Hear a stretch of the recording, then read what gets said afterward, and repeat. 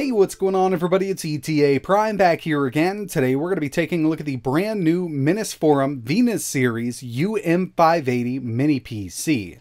We have taken a look at the UM560 on the channel. When it comes down to it, these have turned out to be really nice little mini PCs. And one of the big things this has going for it is alt mode over USB Type C. So basically, we can do power in from the USB Type C port on the rear and video out and I personally refer to this as single cable operation mode. If you have a display that supports USB Type-C video input and PD quick charging out, all you'll need is a single cable to get this connected.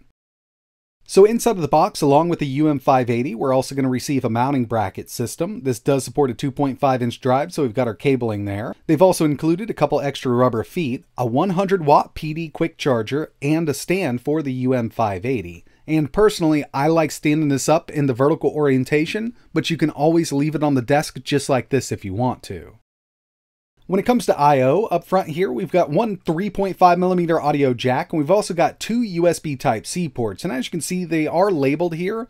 They're both USB Type-C 3.2, but only one of these will support video out, and as you can see, it's the one to the far right. But not to worry, because all of the good I.O. is around the back here. We've got two full-size HDMI ports, and these will support 4K 60 out. We also have two USB 2.0 ports and two USB 3.2 ports, 2.5 gigabit Ethernet, and our final USB Type-C port around the rear here, which does support alt mode or single cable operation mode.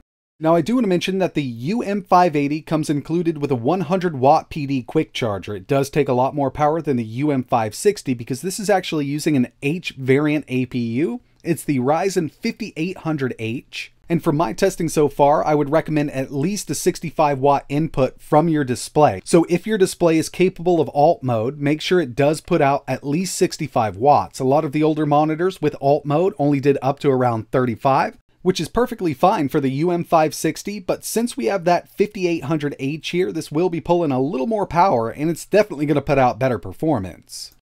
So I've mentioned that the UM580 is powered by the Ryzen 7 5800H, and with this we get 8 cores, 16 threads, and a max clock up to 4.4 GHz. And with this, we get the Radeon 8 iGPU at 2000 MHz. This will support up to 64 gigabytes of DDR4 running at 3200 MHz, and this unit here has 16. When it comes to storage, we've got one M.2 SSD slot, and we can also add a 2.5 inch drive in the bottom of the unit. Wi-Fi 6, Bluetooth 5.2, and this runs Windows 11 out of the box, but there's nothing stopping you from installing Linux. After all, it is an AMD-based system, and Linux would perform absolutely amazing on this unit. Over on the Minisforum website, you can pick this up in three different variants. You can go bare bones with it with no storage or RAM. You can opt for 16 gigabytes of RAM and a 512 gigabyte M.2 SSD, or you can move up to 32 gigabytes of RAM, but it's still going to keep that 512 gigabyte SSD. Luckily, we do have space for that 2.5 inch drive in here.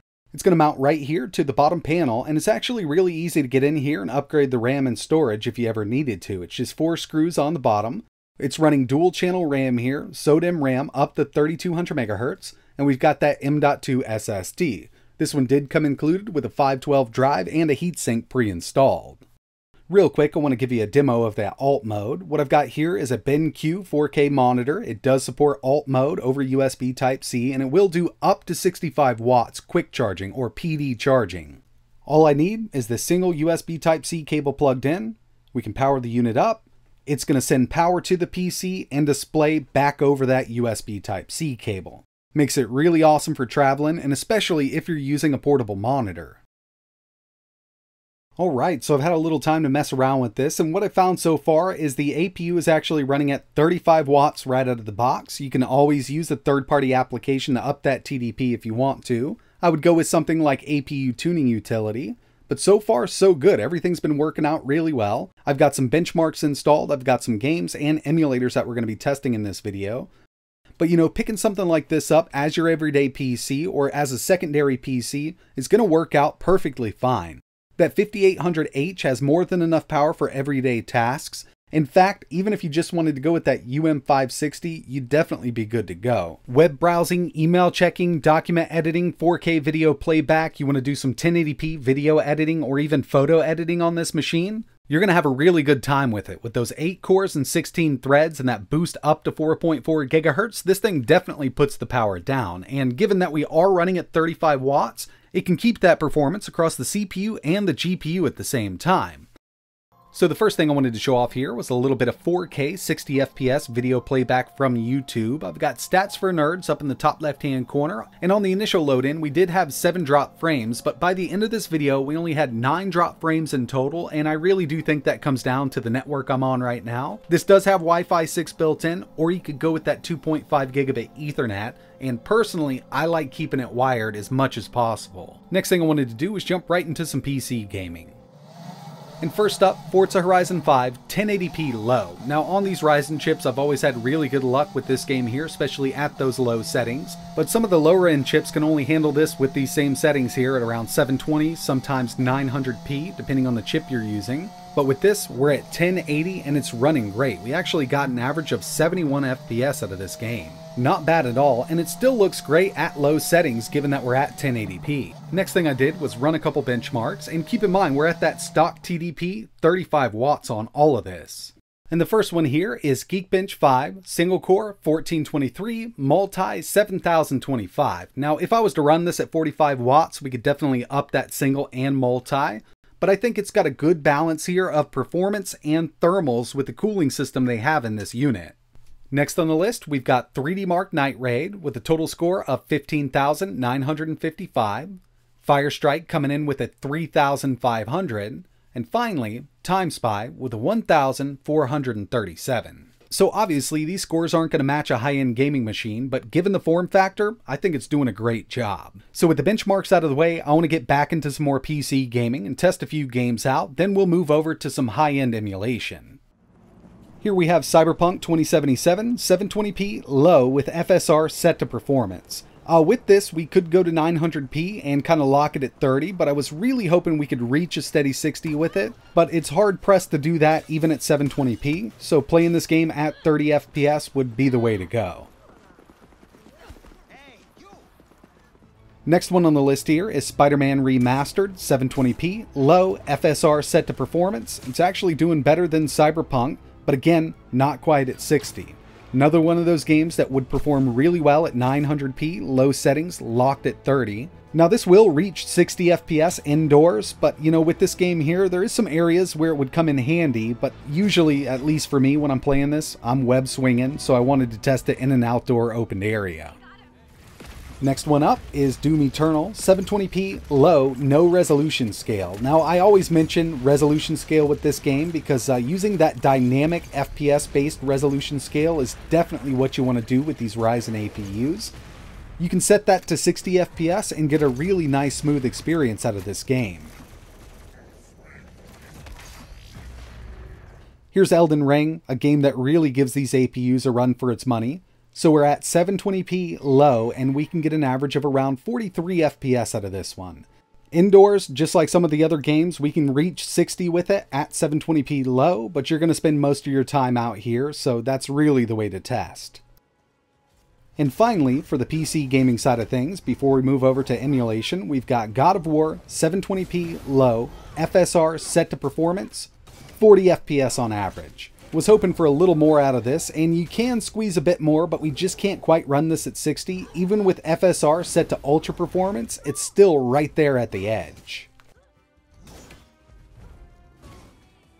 Alright, so now it's time to check out some emulation, and as a lot of us already know who are into emulation, these chips do a great job. The 5600U, the 5800U, and especially the 5800H. Here's Wii U using the Cemu emulator, Vulkan backend, Bayonetta 2 at 60 FPS, and this will do Breath of the Wild, but I would go ahead and lock that at 30 1080p. Moving over to PS3 using RPCS3. So with this one here, Skate 3 Vulkan backend, I did have to take it up by 5 watts. We went up to 40 watts using APU tuning utility, and it was really odd because it's only a 5 watt difference, but we were getting a ton of dips at 35 watts. This is one of those games that really does love those extra cores and threads, and we needed to send enough power to those and the GPU at the same time. So that extra wattage really helped out with this one. But playing games like Tekken 6 or Demon Souls, it only needs to be set at that stock TDP, and it's not even going to pull that full 35 watts. But one of the most impressive things that I tested on this unit so far was Xbox 360 emulation using Xenia. In fact, I'm using the Canary build of Xenia, we've got Forza 2 here, and if you tried to emulate this in the past, you know how hard it can be to run, even on higher end chipsets. But with all of the new updates to Xenia, we're getting some great 360 emulation on these Ryzen APUs. And you could even do Red Dead 2, not at 60, but at 30 FPS. So when it comes to power consumption, this is plugged into a kilowatt meter, and keep in mind this is total system, the whole little mini PC, not just the CPU or the GPU. Idle, 12 watts from the wall, average gaming, 52 watts, and in an extreme stress test, I was able to get this to pull 71 watts, which was quite a bit, but keep in mind that's an extreme test. You will never see these if you're just doing normal stuff, even gaming with this PC. CPU temps actually look pretty decent given the confined space this thing's in. Idle, 38 degrees Celsius. Average gaming across all of the games and emulators that I tested in this video, 79 degrees Celsius. And I was actually able to get this to hit thermal throttle in a 10 minute sentiment stress test. It was about 6 minutes into it that it hit 94 degrees Celsius. And you know, I kind of expected that because we're totally maxing this out at 35 watts for a prolonged period of time. But overall, it's a really nice little PC. I love the look of it. Having that alt mode or single cable operation mode really comes in handy. And you know, you really don't need this unless you have a monitor or display that really supports it. But it's great to have it built in, and hopefully down the road, we'll see this on more of these mini PCs. But yeah, this could definitely be a desktop replacement or even a secondary PC for some people. And if you're interested in learning more, I will leave links to Minis Forum's website in the description. They've got the UM560 or the UM580, which we've taken a look at in this video. Three different variants, bare bones, 16 gigs or 32, it's really up to you. So if you're interested, definitely check those out. And if there's anything else you want to see running on this or the UM560, just let me know in the comments below. But that's going to wrap it up for this one. And like always, thanks for watching.